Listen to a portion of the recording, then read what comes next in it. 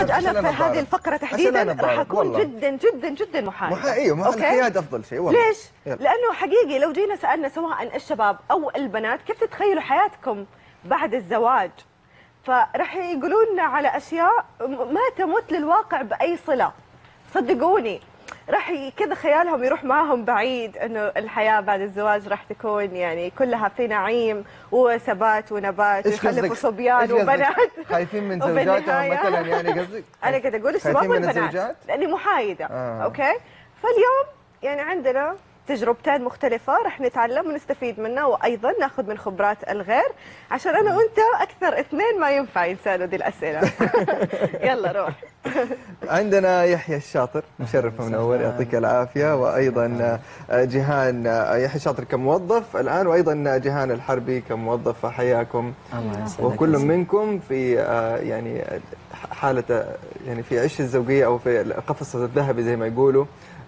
يعني في حالتين مختلفة. جيهان من عشر سنوات تقريبا تقريباً. آه، حالة الزواج بدأتيها ولك سنتين يحيى. ألف مبروك الله يعينك. الله يبارك قل لنا. طيب. قل لنا بس أبغى نعرف فكرتكم عن آه، الزواج بشكل عام. كيف آه، كيف كانت وإيش وصلت الآن؟ أول شيء أنا بقول بسم الله الرحمن الرحيم والصلاة والسلام على رسول عليه الله الصلاة والسلام. آه دائما سبحان الله هي أول شيء الح... الحياة الزوجية هذه سنه لازم كل واحد على. قولهم ياخذها. سواء. دحين ولا بكرة ولا أنت على قولهم على حسب ما تبغى تعيش. صحيح. فكل ما أنت طال عمرك سبحان الله يعني حيجي يوم تفكر إنك أنت لازم لازم بشكل أكبر. تبغى تتزوج تشتاق إنه يكون عندك آه، أبناء. أولاد في النهاية صحيح استقرار. سبحان الله. صحيح. استقرار. صحيح. إحنا ما نقول استقرار نقول أكثر حاجة إنك أنت تبغى كذا سبحان الله لك آه ولد لك آه سند في هذا Yes. الموضوع. آه الزواج هو شيء حلو. بس على حسب المرأة اللي هي تفهمك. اختيار الشريك. ب- بكل بكل اخت- باختصار شديد الزواج فكرته تغيرت عندك قبل وبعد ولا زي ما هي؟ والله اتغير اتغير حتبات في الصالة اليوم. لا يعني تغيرت للأحسن. طب بالنسبة لك بالنسبة لك جيهان هل فكرتك قبل عن الزواج وتغيرت بعد الزواج ولا لا؟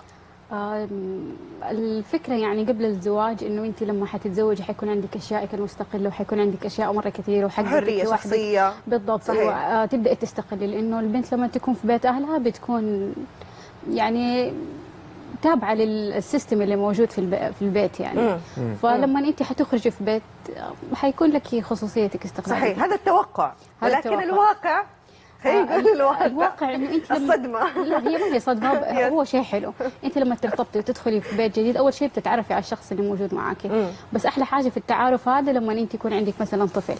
فهنا تبدأي express ال emotion كلها إنه انت عندك baby في أحد متعلق بيكي كده. فالمسؤولية كمان لها شوية يعني. فكانت نفس التوقعات بالنهاية. مرة مختلفة طبعا. حلو. طب قد إيش في فرق بين توقعات الشباب والبنات عن الحياة الزوجية قبل الزواج وبعد الزواج بالنسبة لك جيهان يعني من الناس اللي حواليك صحباتك أخواتك فهل كانت توقعات جدا مقاربة ولا آه لا؟ تختلف. لا لا تختلف. آه في ناس يعني خلاص هي شافت أهلها كيف بيعيشوا. وتبى تكمل ال- الطريق بهذا الأسلوب يعني. وفي ناس لا عندها نوع من الاستقلالية وتبى تقنع الطرف الآخر بشخصيتها وبرغباتها وأنا أبغى أعمل كذا ويكون في نوع من الدهاء بحيث ان هي تقنعه هي إيش تبغى يعني وتقدر ان هي تستمر. وفي أشخاص ما بيتفقوا وخلاص يعني. ما بيكمل. أنا بنتقل. لنقطة مرة مهمة ل- جيهان وأيضا آه، آه، يحيى. في حكاية الزواج هي حياة جميلة واستقرار ويعني رباط قوي بين الزوجين. ولكن لما نيجي لأرض الواقع في لابد تصير مشاركة بين الطرفين بين الزوج والزوجة. فأبغى أعرف كل منكم كيف عمل هذه الشراكة سواء في في في أعمال البيت سواء في وظيفة سواء في تربية أبناء سواء في أي حاجة. خلينا نبدا معك يحيى كيف بدأتها كزوج وحاولت إنك أنت توزع المهام؟ شوف توزيع المهام هي تيجي أصلا مع الحياة. يعني خلاص هي أصلا كل ما شافتك آه، حرمتك أنت كذا مكروف ومشغول مثلا برا في عملك آه، قد إيش أنت آه، تأخذ جهد جدا كبير تتأخر الوقت مثلا متأخر في الليل لشغل مو ل راحت مع أصحاب أو أيوة راحت شيء، مع صح. أصحاب صح. فهي حتقدر ذا الموضوع حتقول خلاص والله أنا أفضل إني أنا مثلا أجلس في البيت أحسن إني أهتم.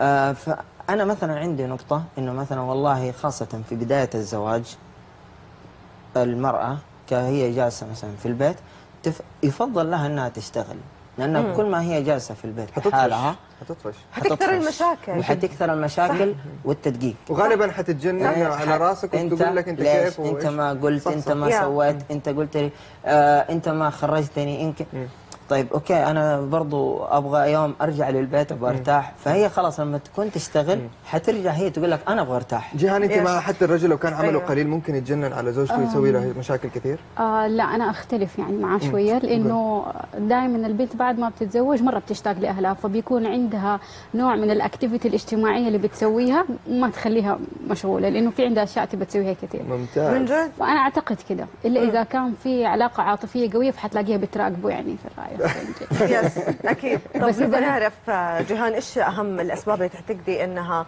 سبب لزواج آه، ناجح ومستمر سواء عند البنات أو عند الشباب؟ صراحة هو شيء واحد فقط. احترام. لا الصبر؟ الصبر. صبر. لأنك والتنازلات. انت لا الصبر. لأنه انت لازم تصبري هو لازم يصبر عشان تفهموا بعض. يعني أنا مثلا أحب أشرب شاي هو ابدا ما يحب يشرب شاي. فأنا واو. عندي مشكلة إنه أنا بشرب شاي وهو ما بيشرب شاي.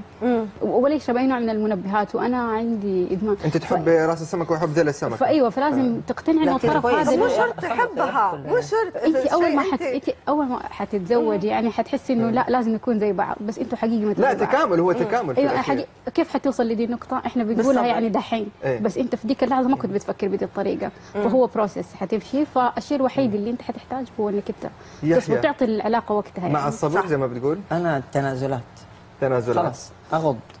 غض مشي البصر ها؟ آه غض خلاص يا أخي مشي الحال. أنا يلا خذ. البصر. آه لا مو حكاية غض البصر لا. اغض يعني خلاص أمشي الأمر أمشي الموضوع. أشوف يعني ما هو لازم كل حاجة ما أدقق على كل شيء. لا هنا حتصير مشاكل. هي إذا غضت هي خلاص مشت الموضوع. آه صارت مشكلة. أنا عصبت طنش خلاص. يلا نشوف الشيء اللي بعده بح... بحيث إنه خلاص إنه ما نجلس نستمر ما الموضوع. المشاكل الصغيرة. نكبرها لأنه كل ما. كبرت صارت مشاكل أكبر. إيه عندي كلام تبي تقولي جيهان آه، أعتقد التنازل هذا يخليك ما تتكلم في المشكلة أو إنه إيش سببها. لكن أعتقد إنه أنت لما تن- تتنازل تتنازل بعدين تجي مثلا تقول ليش هذا الشيء ما حصل؟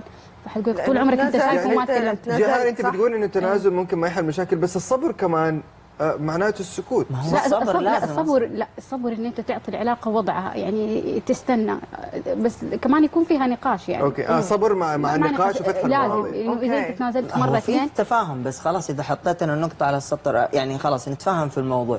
خلصنا من ذا الموضوع خلاص لا نكبره. نتفاهم بهداوة نتفاهم بكل لا هو ما في هداوة حقيقي لا ما هو إحنا لازم نأجل الموضوع. عشان كده أنا قلت لكم. الاحترام عنصر الموضوع. مهم إيش ما يكون. الموضوع. ليش ما تأجله أنت بعدين لما تهدى؟ يا أخي أطلع برا. خلاص أنت عصبت أطلع برا البيت. أنت كرجل. هي خليها تروح غرفة ثانية أجلس.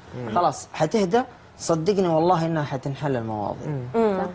بس والله في الأخير يعني يعني الواحد في, في الأخير أنتم وجهة نظركم صحيحة وعلى حسب طبعا كل حالة وكل بيت. قاعدة أيوه وحسب كل. كل بيئة على فكرة كل بالنهاية يعني ما نقدر نحكم عن بيئة. تجربتكم الشخصية. بالنهاية كل شخص له تجربة شخصية على حسب الشريك الآخر أو الطرف الآخر في العلاقة. فتختلف الشخصيات. دائما في البداية معلش إذا قاطعت كلامك. إحنا عندنا دائما تلاقي سبحان الله في بداية الزواج دائما تلاقي فيه خلافات. لأنه هي جاية من بيئة وأنت من بيئة. فما. حتتأقلم مستحيل انكم. حتتلاقوا عشان كده بقول لكم تكامل يقول لك. ثلاث سنين أيوة. أنتم تتع... تتعرفوا على بعض صح. بعدين إذا خ... أو إذا خلفتوا حتحبوا بعض اسمعنا يقول. لك لو كمان عدت أول سنة على خير خلاص إن شاء الله الحياة تستمر وفي ناس غلط يقول لك لا غلط هذه. الفكرة غلط إيه، يقول لك على فكرة فكرة يقول غلط. في ناس لا، يقول مو لك كل سنة سنة، في مفاجآت كل سنة في حاجات آه، صحيح. آه، تشيب الراس أكيد. أكثر يعني ف- ما في حاجة تقوليها ما آه لا نختم بس حقول لك على- شغلة بس مرة. بسيطة لو أيوه آه إحنا لو شفنا يعني أمهاتنا كيف عاشوا أنا وصلت لمرحلة أشوف أمي يعني forecasting تصرفات بابا هي بتتصرف كده زي ال- فهو يعني زي ما هو قال. تنبؤات أيوة. التصرفات أيوة. شكرا لكم. شكرا لك العافية. الحربي وأكيد يحيى الشاطر شرفتونا عقبالكم إن شاء الله. على خير. فيكم. على خير. إن شاء الله. على خير. شرفتونا ونورتونا. وإن شاء الله الشباب والبنات يتعلموا ويفهموا شاء الله البنات أكثر المفاهيم الخاطئة اللي بتصير قبل الزواج وما تحسبوا ابدا إنه بعد الزواج أنتم راح تعيشوا. في نعيم حاولوا تكونوا واقعيين. جدا عشان ما تنصدموا بعدين بالنهاية. نذكركم بإيميل البرنامج وهاشتاج ساعة شباب اللي دائما على الشاشة عشان ناخذ أفكاركم اقتراحاتكم أي حاجة حابين توصلوها لنا زي أحد المواضيع هذه ممكن نطرحها وعادي ناخذ ونسولف. أكيد. وصلنا بكذا لختام حلقتنا اليوم. نتمنى تكونوا استفدتوا واستمتعتوا. راح نلقاكم بكرة في نفس الوقت على شاشة روتانا الخليجيه وبكذا أقول لكم فمان الله كنت معاكم أنا لمياء غالب. وأنا كنت معكم طلعت سندي أقول لكم في أمان الله. السلام عليكم.